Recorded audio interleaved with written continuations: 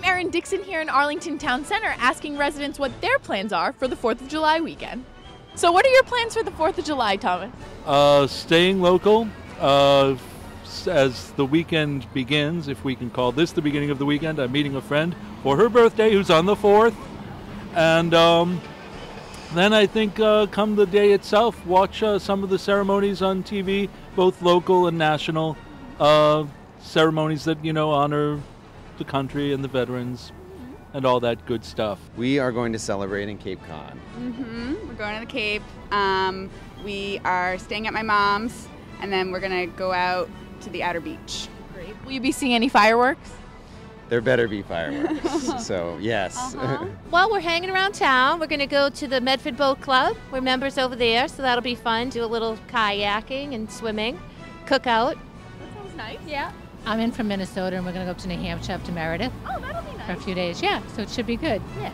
Well, I've heard great things about uh, the concert at the Esplanade, although there are 3.7 million people there, but I think I'll we'll go. Great. And I might uh, do some more biking and I might go to the beach. Uh, well, I'm going to catch some fireworks on Friday, and then uh, Saturday I'm going to celebrate the uh, America with uh, a cookout with the family and everything like that.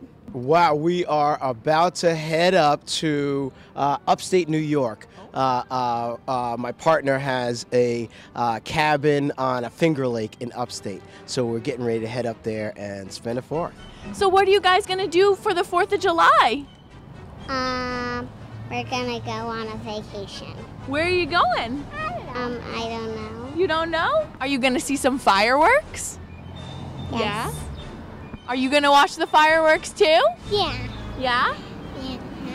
Eating any good food this weekend? Oh, fantastic food! I uh, uh, I- I'm associated with a lot of foodies, so the barbecue is going to be crazy. The salads, it's going to be great food. Like I need that. Uh, well, we're going to go down McKinnon's down in uh, Davis Square, pick up some good stuff, put it on the grill. They have great steak tips. Uh, what's your favorite part of the 4th of July? My favorite part of the 4th of July is fireworks. I love them. I love the loud bangs and everything, and it's just, I don't know, I, I love everything festive about it.